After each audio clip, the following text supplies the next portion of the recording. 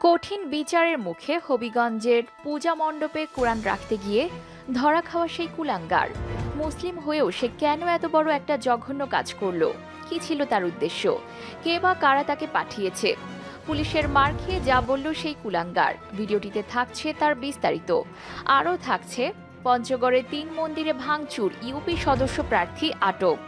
Mayor জাহাঙ্গীরের বহিষ্কারে আনন্দ, মিষ্টি বিতরণ। ঠাকুরগাঁওয়ের নৌকার প্রার্থীর গলায় টাকার মালার ভিডিও ভাইরাল। এছাড়া আরও কিছু গরম খবরাখবর জানতে ভিডিওটি না টেনে পুরোটাই দেখতে থাকুন। শহরের চৌধুরী বাজার সার্বজনীন পূজা মণ্ডপের পাশ থেকে পবিত্র কোরআন শরীফ সহ এক যুবককে আটক করেছে স্থানীয়রা। পরে তাকে পুলিশের হাতে তুলে দেওয়া হয়। এরই মধ্যে সেই যুবকের বিরুদ্ধে কঠিন অ্যাকশনে গেছে পুলিশ। কঠিন জিজ্ঞাসাবাদ চলছে তার। যে কোনো সময় ব্রিফিং করে সকল তথ্য জানাবে পুলিশ। স্থানীয়রা বলছেন, ওই যুবক তাদেরকে জানিয়েছেন, তার নাম মিজান, বাড়ি নোয়াখালী। প্রত্যক্ষদর্শী সানি রায় জানান, ঘটনার দিন দুপুর থেকে ওই যুবক চৌধুরী বাজার সার্বজনীন পূজা মণ্ডপের চারিদিকে ঘোরাফেরা করছিল। এ সময় সেখানকার কয়েকজন লোক সন্দেহজনকভাবে তাকে নজরে রাখেন। এক পর্যায়ে ওই যুবক মণ্ডপের পেছনে গেলে স্থানীয় লোকজন তাকে আটক করে। এ সময় তার কাছে থাকা একটি ব্যাগে পবিত্র কোরআন শরীফ পাওয়া যায়। জেলা হিন্দু বৌদ্ধ খ্রিস্টান ঐক্য পরিষদের সাংগঠনিক সম্পাদক বিপ্লব রায় সুজন বলেন, ওই যুবককে স্থানীয়রা আটক করে আমাকে খবর দেয়। আমি ঘটনাস্থলে গিয়ে তার নাম পরিচয় জিজ্ঞেস করলে সে জানায় তার নাম মিজান, বাড়ি নোয়াখালী। এক পর্যায়ে সে নিজেকে পাগল দাবি করে। পরে আমরা আর সময় ক্ষেপণ না করে পুলিশকে খবর দেই। খবর পেয়ে চৌধুরী বাজার ফাঁড়ি পুলিশ ঘটনাস্থলে পৌঁছে ওই যুবককে আটক করে ফাঁড়িতে নিয়ে যায়। ঘটনার খবর পেয়ে সদর মডেল থানার ভারপ্রাপ্ত কর্মকর্তা ওসি মোহাম্মদ মাসুক আলী ওসি তদন্ত দৌস মোহাম্মদ ঘটনাস্থল পরিদর্শন করেন। পরে ওই যুবককে আটক করে সদর মডেল থানায় নিয়ে যাওয়া হয়। এখন অবধি যতটুকু জানা গেছে তার পরিকল্পনা ছিল কুমিল্লার মতোই আরেকটি কাণ্ড ঘটানো। স্থানীয়রা আগেই ধরে না ফেললে বড় কোনো ঘটনা ঘটে যেতে পারত। কোনো রকমে সে কোরআন শরীফ মণ্ডপে রেখে আসলেই সর্বনাশ হতো। একদল আবেগী লোকজন দলবল নিয়ে মণ্ডপে হামলা চালাতো। কোনো কিছু বাছ বিচার না করেই। ভাগ্যিস এমন কিছু হয়নি। মহান আল্লাহ তালার দরবারে শুক্রিয়া। এদিকে পঞ্চগড়ের আটোয়ারিতে ইউপি নির্বাচনকে কেন্দ্র করে তিনটি কালী মন্দিরে প্রতিমা ভাঙচুরের ঘটনায় এক হিন্দু সদস্য প্রার্থী সহ দুইজনকে আটক করেছে পুলিশ। আলোয়াখোয়া ইউনিয়নে এই ঘটনা ঘটে বলে জেলার পুলিশ সুপার মোহাম্মদ ইউসুফ আলী জানান। আটকরা হলেন আলোয়াখোয়া ইউনিয়নের সদস্য প্রার্থী শক্তি চন্দ্রপাল ও তার সমর্থক সনাতন চন্দ্রপাল আলোয়াখোয়া ইউনিয়নের চেয়ারম্যান প্রদীপ কুমার রায় জানান, আলোয়াখোয়া গ্রামের সনাতন ধর্মাবলম্বীরা মোবাইলে ফোন করে প্রতিমা ভাঙচুরের খবর দেয়। তিনি বলেন, পরে ঘটনাস্থলে গিয়ে দেখি বহুবাদ এলাকার কালী মন্দির, ঠাকুরপাড়া কালী মন্দির ও দোমরকি কালী মন্দিরে দশটি প্রতিমা ভাঙচুর করা হয়েছে।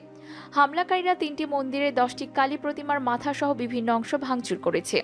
তিনি বলেন, আলোয়াখোয়া ইউনিয়নের পাঁচ নম্বর ওয়ার্ডে শক্তিচন্দ্র পাল বর্তমান সদস্য ও শাহজাহান আলী সদস্য পদে প্রতিদ্বন্দ্বিতা করছেন।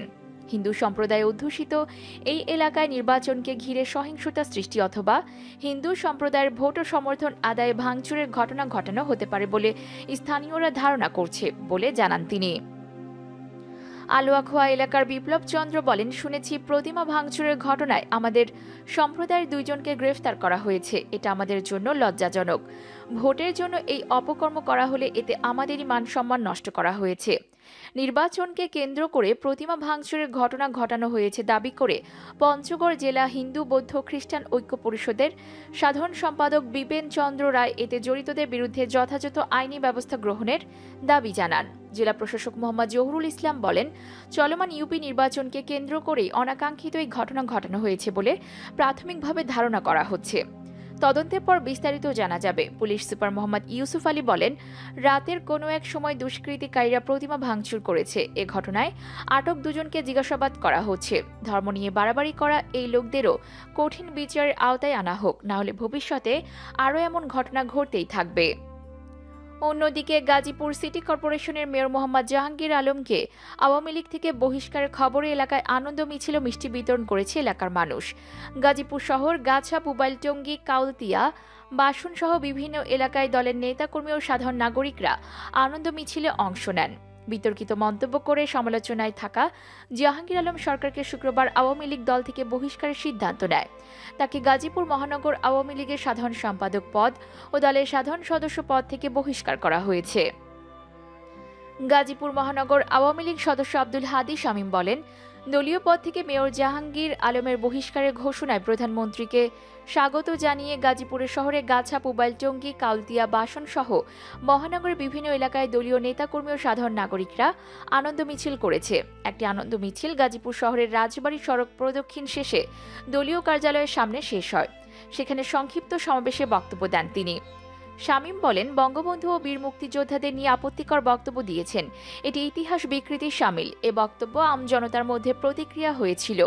বোর্ডবাজার এলাকায় একই সময় মহানগর ছাত্রলীগের সাবেক সাধারণ সম্পাদক তহিদুল ইসলাম দ্বীপের নেতৃত্বে একটি আনন্দ মিছিল বের হয়ে ঢাকা ময়মনসিংহ মহাসড়ক প্রদক্ষিণ করেছে।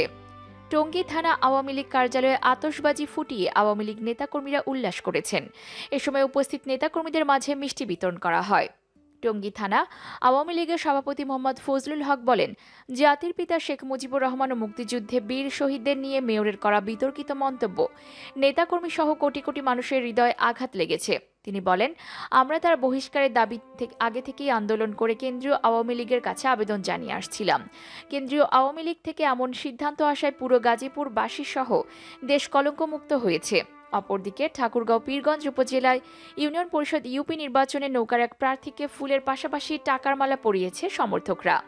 ওই প্রার্থীর নাম টেলিনা সরকার হিমু। তিনি উপজেলার পীরগঞ্জ বৈরচুনা ইউনিয়নের চেয়ারম্যান প্রার্থী।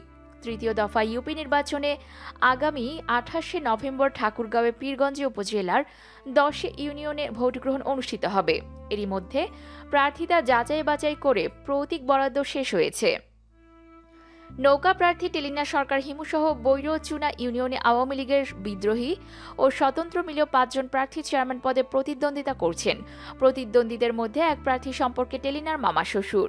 স্থানীয় সূত্র জানায়, আঠারোই নভেম্বর সকালে পীরগঞ্জ উপজেলা বৈরচুনা হিন্দুপাড়া এলাকায় নির্বাচনী প্রচারে বের হন টেলিনা সরকার।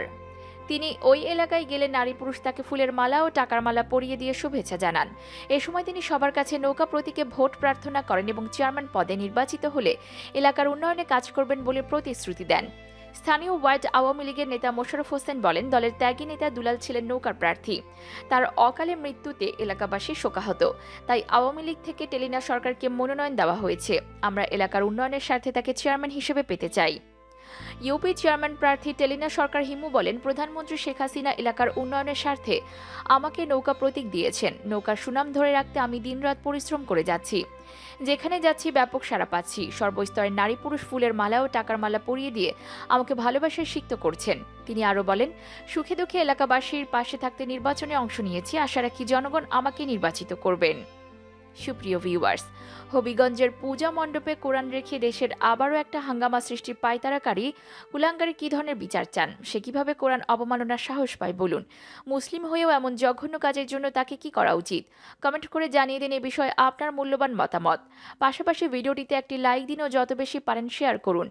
আর আমাদের চ্যানেলটি সাবস্ক্রাইব করে পাশে থাকা বেল বাটনটি প্রেস করে রাখুন। ধন্যবাদ সবাইকে।